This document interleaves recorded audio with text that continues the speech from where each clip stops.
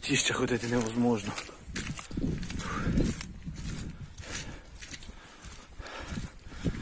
Ноль. Це називається ноль. Нема живого місця. Все повалене. І це ми так зараз будемо йти півтора кілометра до своєї позиції, щоб поміняти в рації батарею. Якось так. Чикс.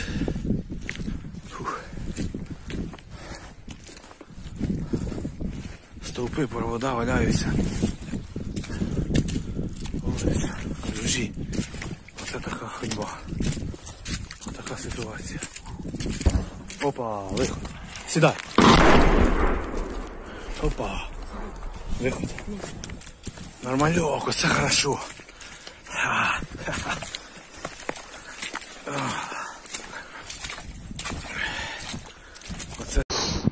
Добрый день. Вот посмотрите, в каких условиях ребята живут. Воюют. Отдыхают после поста. Номер пятизвездочный. Да. Свои ноги на И стою в таланах. Dobry wieczór Państwu, nazywam się Michał Nowak, a to jest kolejny odcinek w ramach cyklu Raport z Frontu, cyklu, w którym omawiam sytuację wojskową i strategiczną na poszczególnych frontach wojny rosyjsko-ukraińskiej, a w dzisiejszym odcinku wydarzenia do 27 listopada 2022 roku. Zanim jednak przejdziemy do omówienia sytuacji na poszczególnych odcinkach, chciałbym Państwa e, poinformować z nieukrywaną dumą, że zostałem nominowany w czwartej edycji plebiscytu Dobry Dziennikarz 2022 zorganizowanym przez Fundację Instytut Dyskursu i Dialogu. Otrzymałem nominację w kategorii Nowe Media e, jako wyraz uznania wobec rzetelności i bezstronności działalności w ramach cyklu Raport z Frontu. Głosować na moją kandydaturę można do 11 grudnia 2022 roku za pośrednictwem strony internetowej, do której link znajdziecie Państwo w opisie tego nagrania.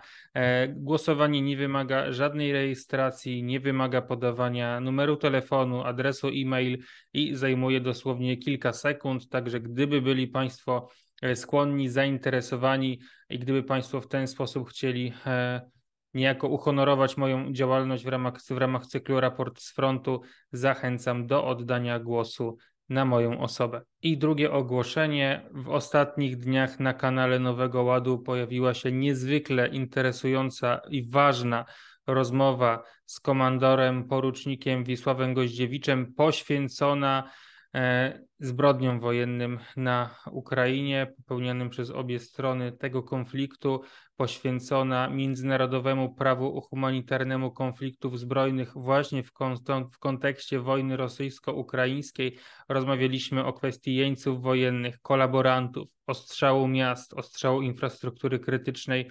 Wiele istotnych, celnych uwag ze strony pana komandora, niezwykle obiektywna i rzetelna, wyważona rozmowa z moim gościem. Zachęcam Państwa do, e, do wysłuchania tego materiału, który znajdziecie na naszym kanale, a my przechodzimy już do omówienia sytuacji na poszczególnych odcinkach frontu. Rozpoczynając od frontu południowo-zachodniego, a więc tam, gdzie zatrzymał on się 11 listopada na Dnieprze po wyzwoleniu Hersonia i prawobrzeżnej Hersońszczyzny przez wojska ukraińskie, e, co zakończyło rosyjski odwrót z tego obszaru kierunku wschodnim. Mamy tutaj sporadyczny ostrzał e, z jednej i drugiej strony. Właściwie codziennie Rosjanie ostrzeliwują z wyrzutni rakiet, rakietowych grad e, sam Hersoń. W jednym z takich ostrzałów życie straciło 11 cywilów i ze względu na te uporczywe, regularne ostrzały ze strony rosyjskiej Kijów prowadzi działania celem ewakuacji przynajmniej części mieszkańców z Hersonia.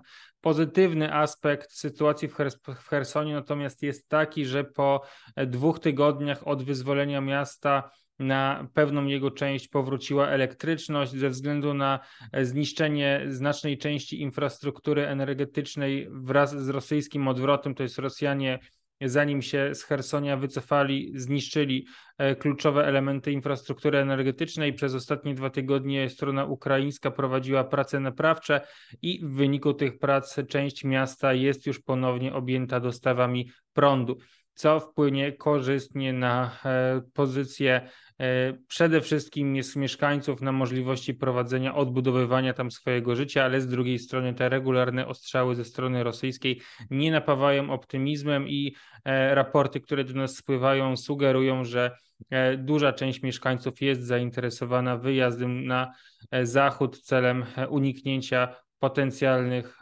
ostrzałów ze strony rosyjskiej. Z drugiej strony mamy ostrzał e, ze strony ukraińskiej, zarówno miejscowości bezpośrednio na lewym brzegu e, Dniepru, a więc w, w pobliżu Nowej Kachówki oraz, oraz sama Nowa Kachówka, e, jak i Aleszki E, czy też inne miejscowości, jak Goła Przystań, są ostrzeliwane przez ukraińską artylerię.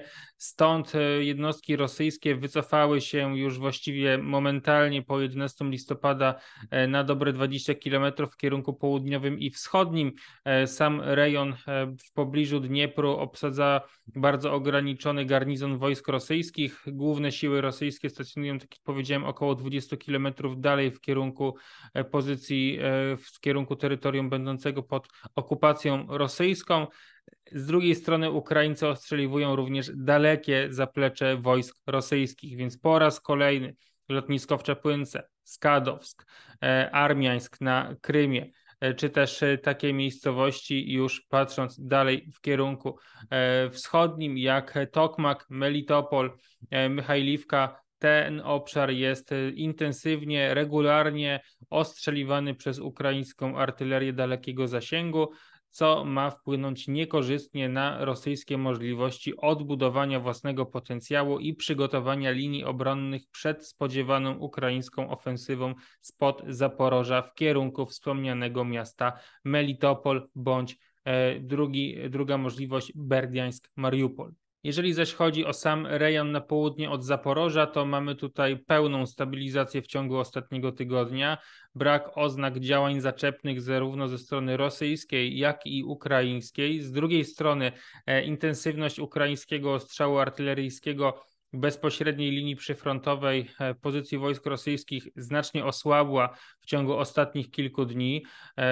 Intensywnie ostrzeliwany był jedynie rejon na południe od Hulajpola, przede wszystkim rosyjskie pozycje w miejscowości Połochy. Tu dzisiaj i wczoraj bardzo intensywny ostrzał ze strony ukraińskiej artylerii, e, o czym raportowały przede wszystkim źródła rosyjskie. Rosy, Rosjanie jednocześnie wskazywali, że może być to przygotowanie artyleryjskie do wznowienia działań ofensywnych. E, Rosjanie cały czas spodziewają się głównego uderzenia ze strony wojsk ukraińskich właśnie w kierunku miejscowości Połochy bądź Wasyliwka które stanowią pierwszą linię obrony przed Tokmakiem i dalej na południe Melitopolem. Przechodzimy więc dalej w kierunku wschodnim działania rosyjskie w rejonie miejscowości Pawliwka na południe od Wuchłedaru właściwie zamarły. Rosjanie kontrolują południową część wsi, centrum pozostaje ziemią niczyją, Ukraińcy utrzymują część północną oraz zachodnią. Walki o centrum cały czas trwają. Rosjanie próbowali posuwać się w kierunku północnym, ale to, to jest etap, który E, zakończył się dobre kilka dni temu ze względu na poważne straty, jakie Rosjanie ponosili w rejonie Pawliwki, a przede wszystkim ze względu na e, błota, które pojawiły się właściwie na całej Ukrainie, ze względu na e, wcześniejsze opady śniegu i deszczu, a teraz dodatnie temperatury E, znaczna część ukraińskich pól zamieniła się w błotne przeszkody uniemożliwiające prowadzenie działań zaczepnych, przede wszystkim z wykorzystaniem sprzętu zmechanizowanego i pancernego i ze względu na to pod Pawliwką mamy sytuację ustabilizowaną, brak e, nawet lokalnych uderzeń ze strony rosyjskiej, a także ukraińskich kontrnatarć i taki stan rzeczy obowiązuje właściwie na wszystkich poszczególnych i pozostałych frontach wojny rosyjsko-ukraińskiej.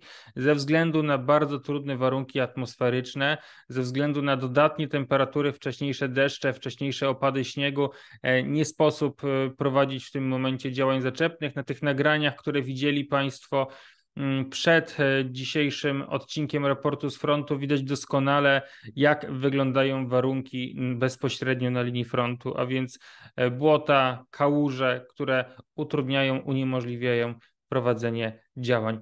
Rosjanie jednak cały czas ostrzeliwują e, północną część Pawliwki, a także obszar na północ od tej miejscowości, chcąc zniszczyć, unieszkodliwić ukraińską artylerię, przede wszystkim to na północ od Pawliwki, a także pozycje obronne wojsk ukraińskich w rejonie samej wsi, przygotowując się niejako do wznowienia działań ofensywnych wraz z tym, jak przymrozki znowu umożliwią wznowienie natarcia. Przechodzimy więc w kierunku Doniecka. Działania pod Marinką tu y, dość istotne sukcesy wojsk rosyjskich. Centrum wsi znalazło się prawdopodobnie pod kontrolą rosyjską. Ukraińcy zostali zmuszeni do wycofania się do zachodniej części Marinki, o którą w tym momencie trwają cały czas walki, ale ponownie ze względu na błota, deszcze, rozmiękłą glebę. Rosjanie zatrzymali swoje natarcie, zadowalając się na ten moment utrzymaniem się e, swoich pozycji w centralnej części wsi. E, Ukraińcy nie wyprowadzali kontrnatarcia ponownie ze względu na warunki atmosferyczne. Niemniej o Marinkę powinniśmy spodziewać się w ciągu najbliższych e, kilku dni kolejnych ciężkich walk. Rosjanie będą dążyć do wykorzystania tego lokalnego sukcesu celem opanowania całej miejscowości. Wraz z tym, jak się to Rosjanom uda, działania zostaną podjęte w kierunku osad i miejscowości położonych na zachód od Marinki Marinki. Pierwsza linia obrony e, na tym kierunku zostałaby więc przez Rosjan po tych dziewięciu miesiącach przełamana, ale pamiętajmy, że kolejne wsie na zachód od Marinki również są dość poważnie umocnione. E, infrastruktura obronna jest tam rozbudowana, także Ukraińcy będą mogli kontynuować działania obronne w oparciu o wcześniej przygotowane pozycje. E, na południe od Marinki, w, w rejonie Nowomichajliwki, rosyjskie uderzenia spełzły na niczym i tutaj brak jakichkolwiek sukcesów. E, wraz z tym, jak Marinka ewentualnie znalazłaby się pod kontrolą rosyjską, Rosjanie mogliby zaatakować w kierunku Pobiedy e, i próbować flankować Nowomichajliwkę. Tu właściwie Rosjanie otworzyliby nowy kierunek natarcia na tą wieś, możliwe uderzenia jednocześnie z trzech, czterech kierunków, co mogłoby potencjalnie doprowadzić do oskrzydlenia ukraińskich pozycji i zmuszenia obrońców do wycofania się w kierunku zachodnim, ale to póki co jest dla Rosjan pieśń przyszłości. Zobaczymy, jak sytuacja na tym odcinku się rozwinie. Być może Ukraińcy będą e, przygotowywać się w tym momencie do wyprowadzenia kontruderzenia w rejonie Marinki, co przecież na przestrzeni ostatnich 9 miesięcy miało miejsce kilka razy, e, czego efektem będzie ponowne zajęcie przez Ukraińców centrum i wypchnięcie Rosjan do wschodniej części wsi lub nawet całkowicie wypchnięcie e, wojsk rosyjskich poza obręb tej miejscowości. Przemieszczamy się na północ od Doniecka. Walki o perwomajskie Wodiane cały czas trwają. Rosjanie utrzymują swój przyczółek w południowej części Wodiane. Walki trwają o centrum tej wsi. Perwomajskie w większości pod kontrolą wojsk ukraińskich. Walki trwają o południowe e, przedmieścia tejże osady. Opytne pod pełną kontrolą rosyjską, zaś e, rosyjskie uderzenia w kierunku Awdijiwki zakończyły się po raz kolejny całkowitym niepowodzeniem, e, czego efektem były jedynie straty po stronie rosyjskiej. Przemieszczamy się więc w kierunku północnym. Tutaj działania bardzo ograniczone na północ od wspomnianej Awdijiwki, a więc na zachód od Nowobachmutiwki, jednak e, tutaj Rosjanie również nie byli w stanie przełamać obrony wojsk ukraińskich. Przemieszczamy się w rejon Gorłówki. Na północ od Gorłówki cały czas ciężkie walki o e, przedmieścia tego, tegoż miasteczka, więc o Majorsk który w większości znajduje się pod kontrolą rosyjską. Z drugiej strony Rosjanie deklarują całkowite zajęcie wioski Ozarianiwka na południe od Kordiumiwki, a na północ od od e, wspomnianej Gorłówki na zachód od Zajcewe. Na ten moment nie zostało to potwierdzone żadnym wiarygodnym materiałem zdjęciowym lub filmowym. Strona ukraińska deklarowała ciężkie walki o tą wieś w dniu e, dzisiejszym i odparcie rosyjskiego uderzenia. Zobaczymy w ciągu najbliższych kilkunastu godzin. Sytuacja nam się powinna na tym odcinku wyklarować. W każdym razie walki o wieś Zarianiwka z całą pewnością dzisiaj trwały. Przemieszczamy się na odcinek bachmucki. Zanim jednak omówimy sytuację pod Bachmutem, serdecznie zachęcam Państwa w imieniu całej redakcji Nowego Ładu na debatę pod tytułem Jaka przyszłość Polski w Unii Europejskiej? Dokąd zmierza Unia Europejska? Jak mogą dalej rozwijać się relacje na linii Warszawa-Bruksela? Debata odbędzie się we Wrocławiu w hotelu imienia Jana Pawła II przy ulicy Świętego Idziego 2 1 grudnia o godzinie 19. I drugie zaproszenie również na debatę organizowaną przez środowisko naszej redakcji Debata pod tytułem Jak uniknąć demograficznej katastrofy. Spotkanie z udziałem ekspertów e, na temat tego, czy Polska stoi dzisiaj nad demograficzną przepaścią, czy katastrofa demograficzna jest e, właściwie nieunikniona i czy możemy skutecznie jej przeciwdziałać. Spotkanie odbędzie się w Warszawie, w Centrum Kształcenia Młodzieży Kuźnia przy ulicy Stawki 4B 5 grudnia o godzinie 18. Szczegóły obu spotkań znajdą Państwo również w opisie dzisiejszego nagrania, a my wracamy już do omówienia sytuacji pod Bachmutem. W rejonie Bachmutu bardzo ciężkie walki pozycyjne. Zarówno Rosjanie, jak i Ukraińcy zadowalają się w tym momencie obecnym stanem posiadania. Rosjanie ograniczyli swoje działania zaczepne ponownie ze względu na trudne warunki atmosferyczne i e, błota, które pojawiły się w rejonie tegoż miasteczka. Najcięższe walki obserwowano bezpośrednio na południe od Bachmutu, a więc o Opytne i Wangrad, obie miejscowości podzielone pomiędzy wojska rosyjskie i ukraińskie. Rosjanie poczynili pewne postępy w obszarze obu tych e, wsi, natomiast, natomiast w większości znajdują się one nadal pod kontrolą ukraińską.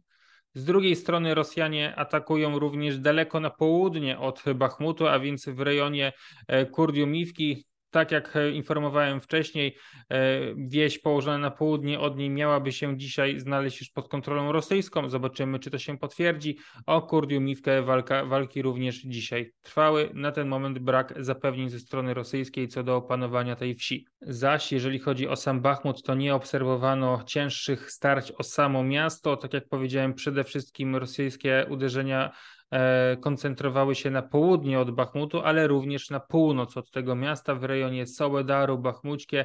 Tam jednak rosyjskie uderzenia każdorazowo były odpierane. Podsumowując, sytuacja pod Bachmutem jest niezmiennie stabilna. Ukraińcy kontrolują główne punkty oporu w rejonie miasta, a także na północ i południe od niego, odpierając kolejne rosyjskie uderzenia które każdorazowo kończą się wysokimi rosyjskimi stratami.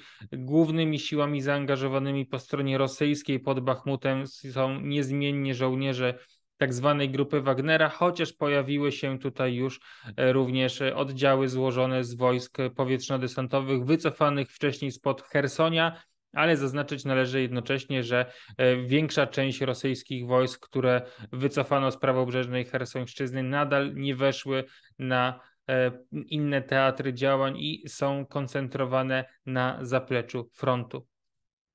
Przemieszczamy się w kierunku północnym e, wzdłuż drogi T1302, walki w rejonie Jekowliwki, Biłochoriwki e, i Spirnego. Wszystkie te miejscowości pozostają pod kontrolą ukraińską. Rosyjskie działania bardzo ograniczone, właściwie lokalne e, próby raczej jedynie rekonesansu niż przebicia się przez ukraińskie linie zakończyły się jedynie rosyjskimi stratami. Zaś jeżeli chodzi o kierunek siewierski, to tutaj ciężkie walki o Biłochoriwkę Chorivkę, która ponownie w większości pod kontrolą ukraińską.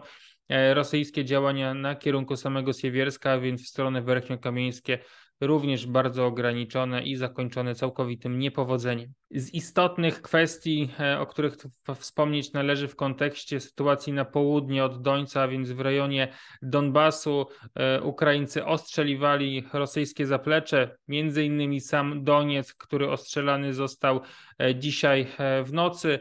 Również Auczewsk na zachód od Ługańska był intensywnie ostrzeliwany przez ukraińską artylerię, jak i również rejon Lisiczańska. Donieck zresztą wspomniany wcześniej ostrzeliwany był w ciągu ostatnich kilku dni kilkukrotnie. Przemieszczamy się więc na północny brzeg Dońca w rejonie miast Kreminna oraz Swatowo. Jeżeli chodzi o sytuację pod pierwszym z tych miast, to tutaj mamy przeciągające się walki pozycyjne które nie doprowadzają do trwałych zmian terytorialnych. Strona jest ponownie stroną atakującą. Walki toczą się w rejonie Płoszczanki, Dibrowej, e, Czerwonopopiwki. Ukraińcy czynią pewne postępy na zachód od samej Kreminnej na obszarze leśnym, e, jednak nie udało się do tej pory Ukraińcom sforsować głównych linii obronnych wojsk rosyjskich, które rozciągnięte są wzdłuż drogi P66 pomiędzy wspomnianymi miastami Kreminna oraz Swatowo. Analogicznie Analogicznie sytuacja pod Swatowem również nie przyniosła żadnych istotnych zmian terytorialnych.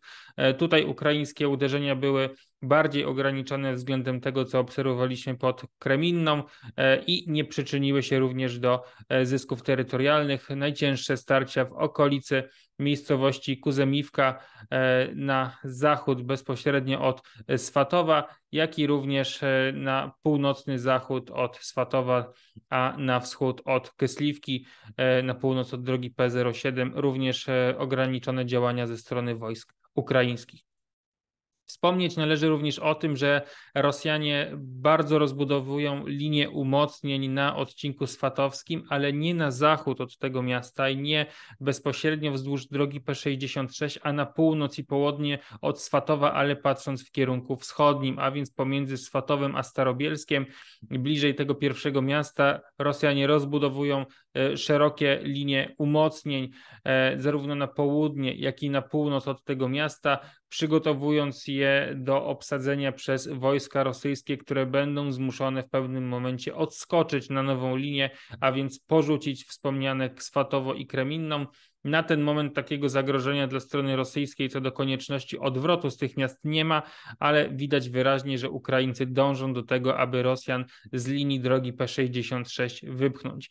E, działania w rejonie e, obu tych miast kończą się wysokimi stratami po jednej i drugiej stronie. Rosjanie bardzo poważnie wzmocnili ten odcinek, e, rzucając pod Swatowo między innymi świeżo zmobilizowanych żołnierzy, którzy ponoszą tutaj wysokie straty, zresztą o tym świadczą również źródła rosyjskie.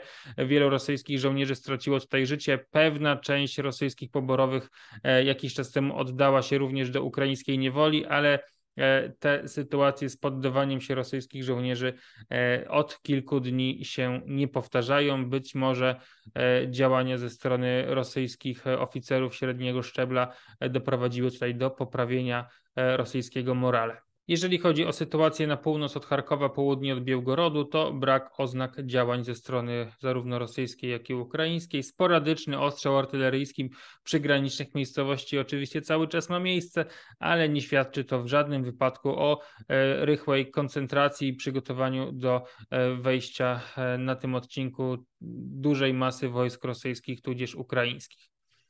Ogółem rzecz ujmując, ostatni tydzień nie przyniósł nam żadnych znaczących zmian terytorialnych. Trwają przeciągające się starcia pozycyjne w rejonie Bachmutu na e, odcinku donieckim, jak i pod Swatową i Kreminną.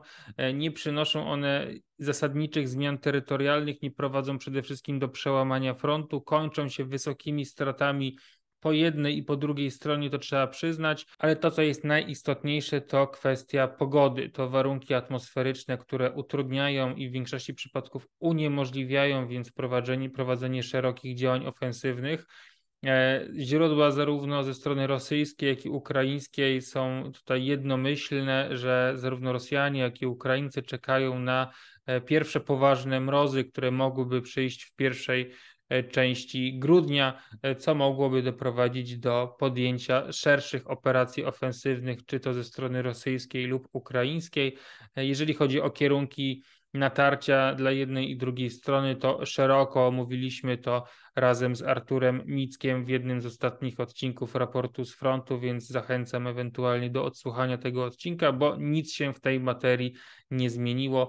Nie obserwujemy nie mamy potwierdzenia wiarygodnych dowodów na e, rzeczywistą koncentrację wojsk rosyjskich lub ukraińskich na jakimś konkretnym odcinku, co mogłoby wskazywać, że że tam właśnie rozpoczęłaby się operacja ofensywna. Takie informacje do nas nie trafiają i dobrze świadczy to o tym, że jedna i druga strona e, dość poważnie podchodzi do kwestii e, zabezpieczenia informacyjnego i braku przedostawania się tego typu informacji do przestrzeni publicznej. Cały czas trwają rosyjskie naloty e, wymierzone w ukraińską infrastrukturę energetyczną. Nalot z 23 listopada zakończył się pierwszym całodobowym blackoutem, który dotknął większości obszarów obszaru Ukrainy.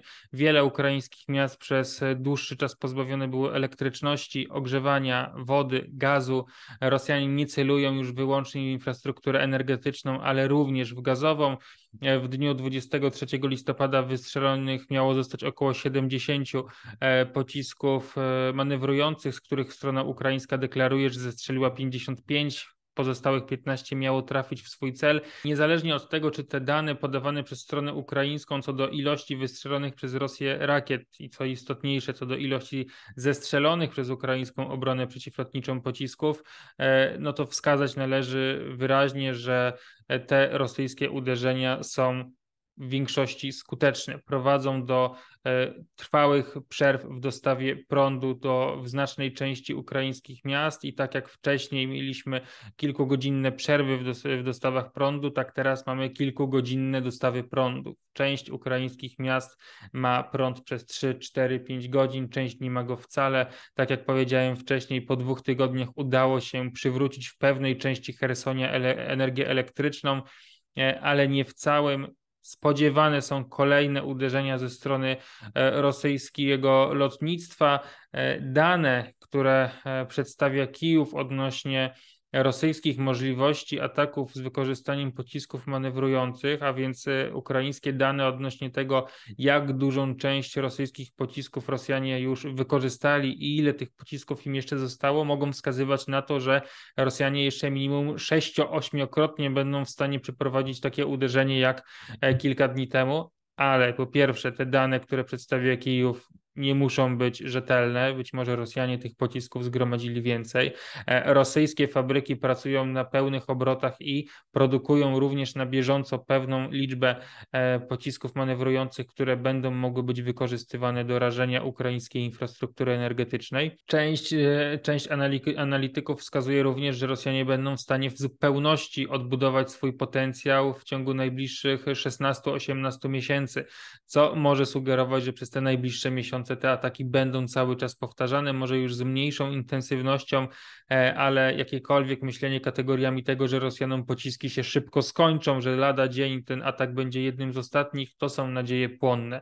Tych uderzeń ze strony rosyjskiej na ukraińską infrastrukturę energetyczną powinniśmy spodziewać się cały czas minimum 6 do 8 razy bardzo intensywne uderzenia z wykorzystaniem 70 do 100 pocisków e, za e, jednym uderzeniem, za jednym atakiem. To jest coś, co, co jest właściwie pewne. E, Rosjanie jasno deklarują, że celem tych uderzeń jest zmuszenie strony ukraińskiej do wznowienia rozmów co do zawieszenia walk. Rosjanie wobec tego, iż nie są w stanie pokonać ukraińskiej armii w polu, zdecydowali się na podjęcie działań względem infrastruktury energetycznej, co doprowadzić może nie tylko do e, osłabienia ukraińskiej gospodarki, ale wpłynąć może również w konsekwencji na możliwości prowadzenia działań wojennych przez ukraińską e, armię. Przypomnę tylko, że w mojej rozmowie z komandorem porucznikiem Wiesławem Goździewiczem rozmawialiśmy właśnie na temat tego, czy atakowanie infrastruktury energetycznej jest zbrodnią wojenną. Pan komandor bardzo wyraźnie i klarowno wyjaśnił tę kwestię, więc zachęcam do jeszcze raz do obejrzenia obejrzenia tego materiału. Raz jeszcze zachęcam do oddania głosu na moją kandydaturę w plebiscycie e, Dobry Dziennikarz 2022. Link znajdziecie Państwo w opisie tego nagrania i przypominam, że nie wymaga on rejestracji podawania danych wrażliwych jak adres e-mail czy numer telefonu i cała procedura oddania głosu zajmie maksymalnie kilka sekund. E, już teraz dziękuję Państwu za oddanie głosu na moją kandydaturę i dziękuję za wysłuchanie dzisiejszego odcinka raportu z frontu po krótkiej przerwie, ale spowodowanej przede wszystkim tym, e, że na poszczególnych odcinkach nie obserwowaliśmy żadnych znaczących wydarzeń. Zresztą, jak Państwo słyszeli, e, i w tym odcinku podsumowującym wydarzenia z ostatnich kilku dni, brak jakichkolwiek oznak wznowienia działań ofensywnych przez jedną lub drugą stronę, działania stricte pozycyjne wzajemny ogień artyleryjski i przygotowania, oczekiwania na pierwsze mrozy. Wobec tego nie chciałem marnować Państwa czasu przygotowując materiały, które e, każdy brzmiałby właściwie identycznie, wobec czego materiał podsumowujący kilka ostatnich dni trafia teraz do Państwa. Raz jeszcze dziękuję za wysłuchanie dzisiejszego odcinka raportu z frontu i do usłyszenia już niedługo.